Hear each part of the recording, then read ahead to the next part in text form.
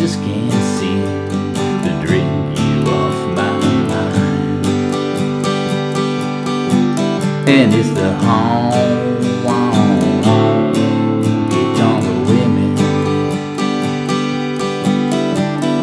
Gimme, gimme, gimme the honky tonk blues. Hey there, friends. How's it today? David Pots here with Song Notes, and I'm excited to bring you a lesson for Country Honk by the Rolling Stones. Now, if you don't know this song by name, uh, it's basically Honky Tonk Women, quite literally. It's just their more acoustic, countrified version of that same song. They recorded it for Let It Bleed. We are in standard tuning here, no open G, and we're on an acoustic guitar, okay? So let's kick this one off looking at the chords we're gonna need and uh, walk through the verse and the chorus sections with a really simple strum, right? This is gonna give us the lay of the land, and then all the riffs and fills and fancy stuff we add later on are going to be piled on top of this. But start with this, especially if you're just getting started or you're earlier in your guitar journey, and you'll be in good shape, okay? So the four chords we're going to need are going to be our G chord, our D7 chord, we'll need a C chord, and then we will need an A7 chord. I think the easiest way to play it is just open, second, open, second, open, right? Whether you use your index and middle or your middle and ring, it doesn't really matter, right? The one thing I'll say though for the G chord is I do recommend uh, if you're if you're not sure how to, to put your fingers down, try it out with your ring finger and middle on the thickest two strings. The reason why is when you go to that C chord, it makes it a really easy transition for these two fingers, right? See how they're just moving one string each? It's gonna make it really convenient for us. And then likewise, when we go from the G to the D7, our index finger is kind of already hanging out in this area up here. It's where it has to go for the C, right? See that D7? From C to D7, nice easy switch. So anyway, that's the G. I recommend doing it. And later on when we get to the, right?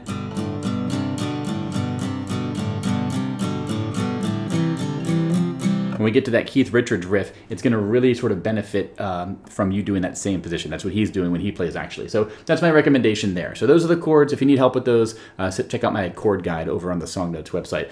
But let's look at the verse and the chorus, big picture. Um, the way I have it written up here is every time you see a chord written above the lyrics, you're going to play that chord for one measure, which is four counts, right? Four beats. So whether you're playing fast or slow, you just want to get your tempo established, right? One, two, three, four. One, two, three. I'm sitting in a bar, tipple in a jar in Jackson. Two, three, four. One, two, three, four. And on the street, the summer sun is shines.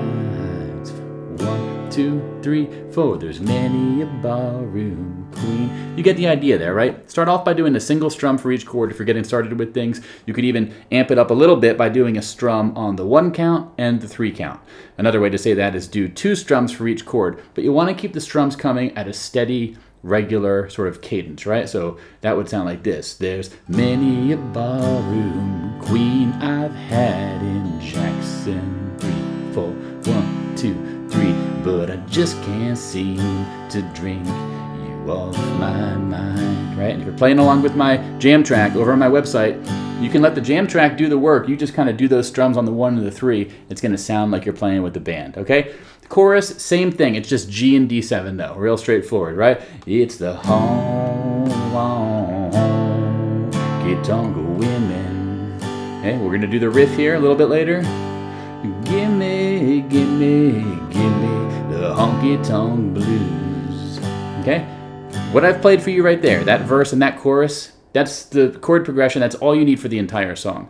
The instrumental, the intro, they're all going to use what we learned in the verse there. We're just going to play it without any words, and uh, that's what we need. Now, a couple ways to strum this. One way to do it is to use what I'm calling just a folk or a rock pattern, which is going to be this down, down, up, up, down, up, down, down, up, up, down, up, one, two, and three, and four, and one, two, and three, and four, and okay. You want to get comfortable with that that that strumming pattern, be able to do it without worrying about chords at all. You could even put the song on, put the jam track on, and just sort of be able to keep up like this, right? Don't worry about the chords, just sort of get used to staying in that groove, right?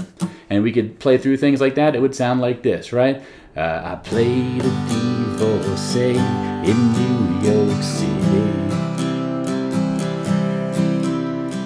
Had to put up some kind of a fight. Yeah. Okay, this is one way to do it. Another way, though, you might find some uh, satisfaction with is using bass note strums, right? So this is going to be a bass down, bass up, down, a bass down, bass up, down, a bass down, bass up, down, a bass down. It would sound like this, right? I'm a sitting in a bar, tipple in a jar in Jackson. Always want to say Austin right there, right? Bass down, bass up, down, a bass down, bass up, down, a bass down, bass up, down, a bass down, bass up, down. Many a barroom queen I've had in Jackson,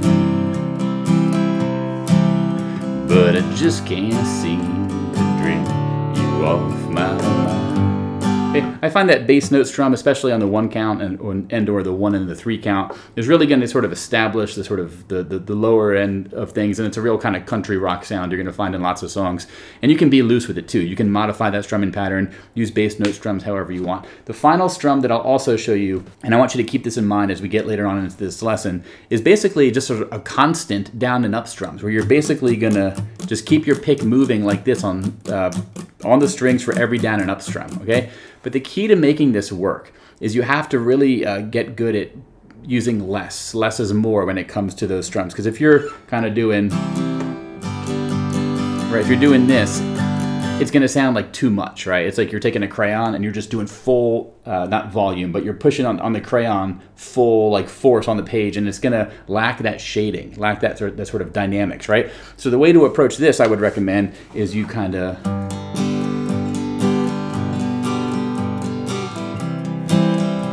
What I'm mm. doing here is I'm sort of favoring the thickest three or four strings of every chord that I'm strumming, and I'm keeping it light and brushy. But on the two count and on the four count, I'm gonna do a big beefy full strum, okay? That's gonna give the, the, the one, two, three, four, one, two, three, four, one, two, three, four, one, two, three, four. And that would sound like this if we put it all together. It's the honky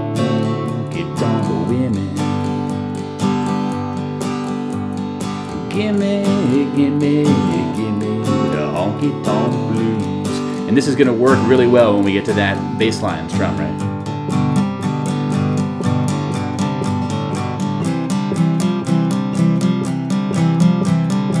Okay, that's the exact strum I'm using there. I'll get to that bass line riff in a little bit, but those are the strumming patterns, right? Practice them all. You can look up some other ones as well and bring your own if you like, right? There's no one right way to strum any song in my opinion. I think, you know, bring with it something that works well for you, but I think these will get you started and uh, have you feeling good, I hope. Okay, so from there, let's look at some of the fun stuff that we can use to spice this thing up. The first thing is gonna be this really amazingly fun riff you hear.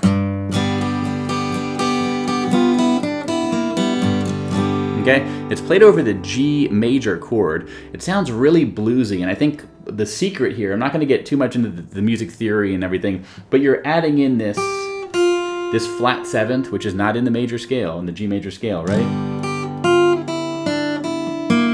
And then this note, this is the flat third, the minor third. This is not in the G major scale either. So when you're mixing a minor third just before this G major chord is playing, which uses the major third, it kind of creates this just clash, which is really emblematic of the blues overall, okay? If you want to go deeper with this, I did a separate video which looks exclusively at this riff. It breaks it down step by step. It's lesson 499 over at songnotes.net. I'll put the link in the description. Uh, check that out because it, will really sort of walk you through things.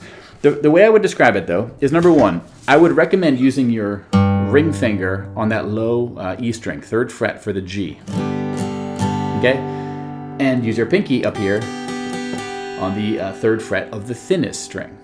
Now, when it comes to playing this riff, we're gonna start off by doing basically a low E string, just single pluck of the bass note, right? That, that's why that bass note strum that I brought up is a bit handy to have in your bag, right?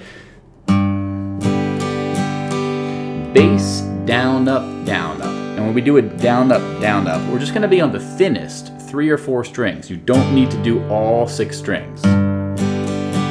Okay?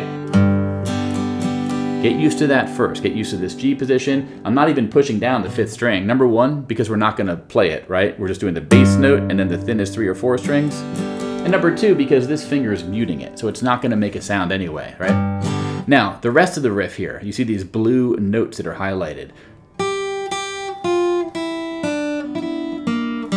Okay, that is the main melody, and you're want to learn those highlighted notes first because even though we can add in some sort of filler strings later on, just be a bit sloppy with our strumming in a way where those those other notes are included, it's to sound more full and big and kind of sloppy in a cool way. Learn the main melody first, right? Learn that phrase first. On the thinnest string, third fret, third fret, first fret, open, and then second string, third fret, okay? Take your time, take it slow, memorize that pattern or write it down. Just practice getting your fingers used to that. Right? Okay, once you have that in your bag, or sort of you're semi-comfortable with it, you can mix it up by then practicing the second half, which is going to go from that same starting note,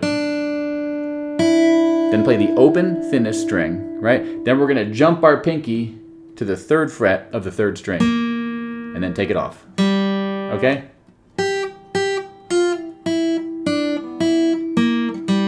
So your left pinky here is doing a lot of work. It's starting off on the thinnest string, okay, third fret. It's going to that second string, third fret. Then it's going to the third string, third fret, right? I, I can't think of a riff that's so efficiently uh, written. It's very few notes relatively. It sounds really cool, and your pinky is doing so much of the work, okay? But it's worth practicing, so.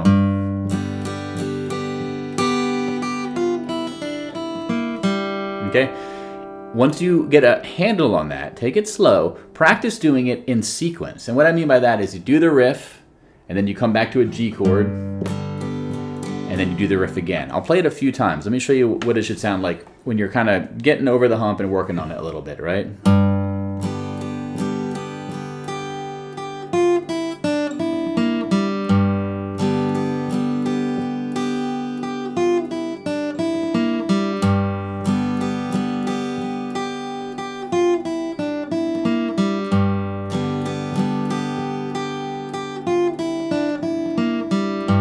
See how the riff ends and I go right back to this low uh, E string third fret? You're going to want to do that anyway, even if you're playing the full song, because you're going to get back to your strumming immediately after the riff, okay? The last thing I'll say about this riff uh, is you, it's okay when you're playing um, those blue sort of highlighted notes. It's okay if you include any of the strings that are next to that note. And here's what I mean by that. See in the tab, uh, I have in the first, you know, bass, down, up, down, up, right? And then under all those blue notes, there's like one or two notes maybe that's that's written like an open string, right? Open uh, second or third string, but it's not highlighted. Those are sort of filler notes. It's okay to include them, but you want to make sure you don't strum past the blue note, right? For example, on this note, this is a D note, this third fret of the second string. You don't want to strum the thinnest string, right? It's to really mess up the vibe of things.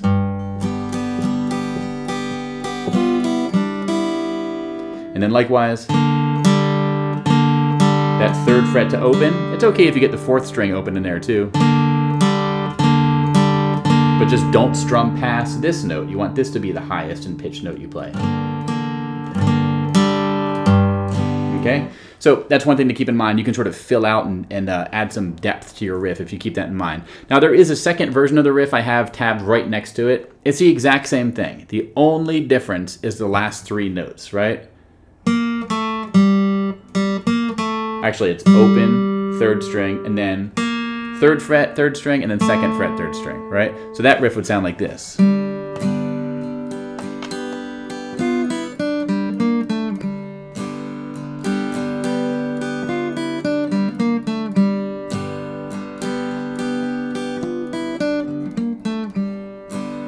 So I don't, personally, I don't like this second version as much because adding from that third fret note to that second fret note, um, after that, I, I kind of feel like you're in no man's land up here. I really much prefer going from third fret to open and then getting your full strum of the G chord on, okay? Watch Keith Richards play it though. It sounds like he's doing it slightly different or he's mixing and muddying it up all the time, right? So don't approach this as canon. There's only one right way to play it. At least that's not how I approach things. So that's how you play the riff. Now, uh, you're going to use this in the intro. You're going to use this at the end of the verse. You're going to use this at the end of each line of the chorus, okay? Um, and so basically throughout the song, this riff is a real fixture. And you're going to want to work on your chords, the progression, the strumming, this riff. And after some time, you give it some practice, you're going to be able to sort of jump into this riff. And if you're singing along, you know, you'll be able to put it all together, but it's going to take time. Okay, so be patient, work on the riff in isolation sometimes, go through it slow and considered, slow it down until you're able to play it perfectly, and then you can bring in the other stuff and uh, put it all together and sound, sound good, right? Now, what else can we look at here that sounds really good? Uh, one thing is this sort of bass line or melody riff, right? You hear Keith Richards play this in the album, recorded version, right? But you also, uh, if you listen to the 2016 backstage version, you can see him doing it, okay? And it's gonna sound like this, right?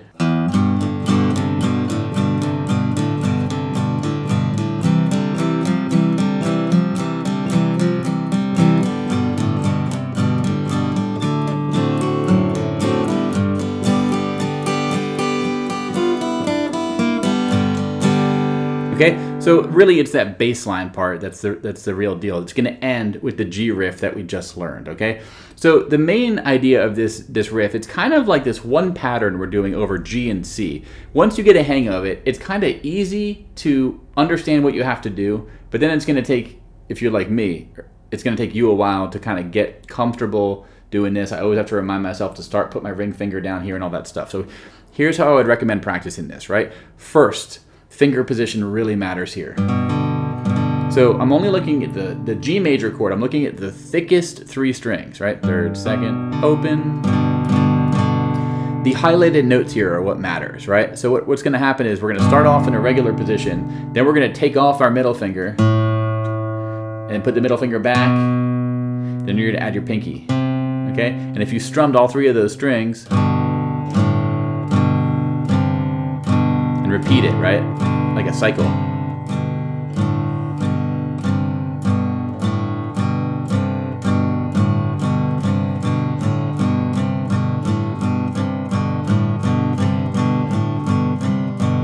And what's going to happen is for the C major chord, we're going to do the exact same thing. Just move these two fingers down, or I guess thinner, one string each, right?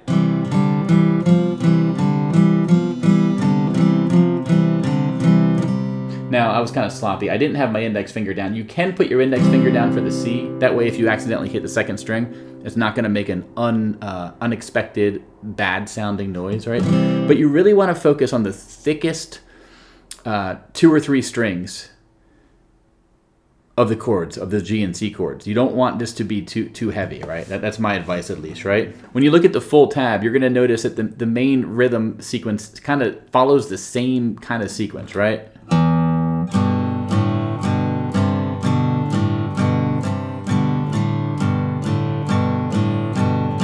But at the end, we're gonna kind of hover on that those fifth string notes, right? So when you're learning the notes of this, if you want, you can just do the highlighted notes by themselves. That would sound like this.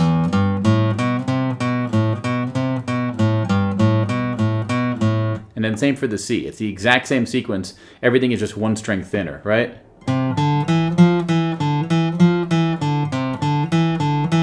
And we go back to the G, And then we're going to jump up to the fourth string and either do a D7 or a D. And then you're going to get that second fret of the, the low E string in there. But forget the D for now, because that's we can fudge that easier. The, the way I would recommend approaching this is you can either use all down strums, right?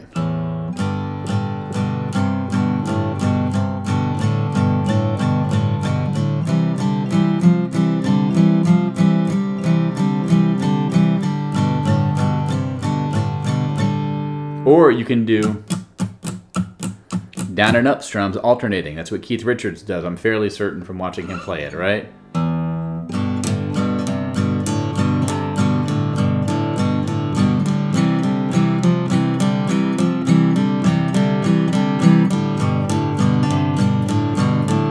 Okay, to me, it's really hard to get this to sound smooth and good. Keith Richards is he's Keith Richards, right? I mean, he kind of has a, just a touch in the tone and everything that's great. So be patient, be kind with yourself. I don't really do this when I'm singing. I like to just include this in a little instrumental thing, or maybe in the in the intro if I'm really getting into it. But um, that's the main idea there, right? Now, at the end of the G, we're going to go to a D or a D7. Oh, one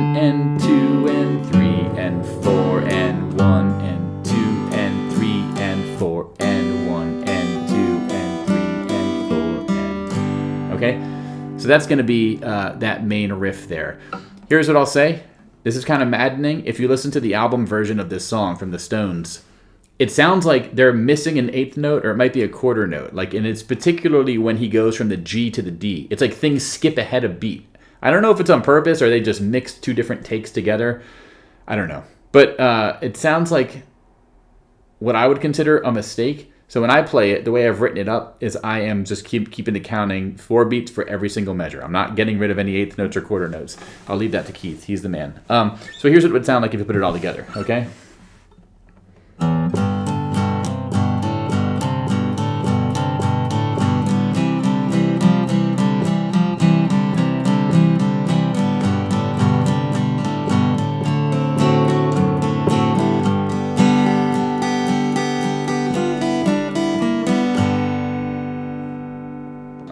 That's how you play that part. It's tricky, but give it some time and be patient with yourself, and I'm sure you'll get there. Uh, a couple other things I want to show you really quick. There's a fun riff we can do when we're on the G. We go to the A7, little walk down. Okay, and that D7 little riffing I was do doing here. There's basically two parts of this. First of all, understand the context, okay? This is happening in the four measures that are in the verse, but also in the instrumental, right? I can't really sing and do the A7 walk down at the same time, but during the instrumental, if you're playing by yourself, this is a great place to do that, right? So it's, this is between that measure of G, A7, and then D7, which is for two measures. So for context, that's where this is happening, right? Now, I'm not showing every single strum here of the G. Bring your own strumming pattern. I'm not going to tell you how to do that. I've already given you some options, right? But the main idea here is bass note strum on the G, then bass note strum on the A7.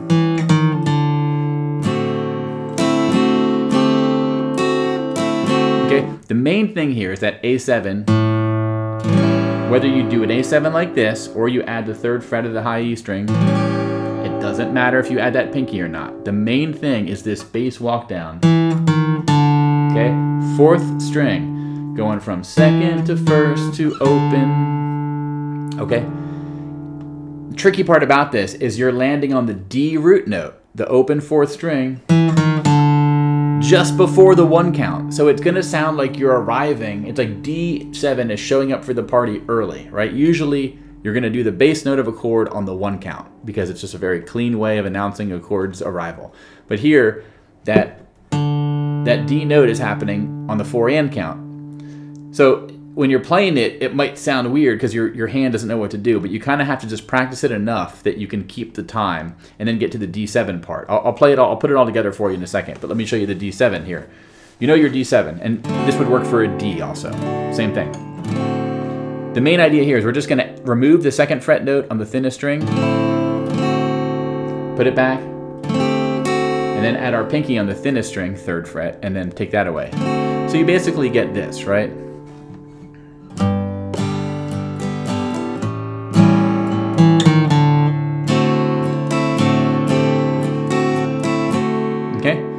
I wrote up a sort of rhythmic figure here in the tab you could follow, right? Uh, one and two and three and four and one and two and three and four. You can follow that if you want to, but you also could just do it however you want. You could do it. Okay, that's a real like Guns N' Roses patient sort of rhythm there. I'm sure lots of other songs use that as well. Let me put all this together for you and show show you how it sounds. Okay, so I'm going to do two measures of G, two measures of C, then I'm going to go to this sequence I just taught you. Then I'm going to return to the second line of the instrumental, okay? Right? So...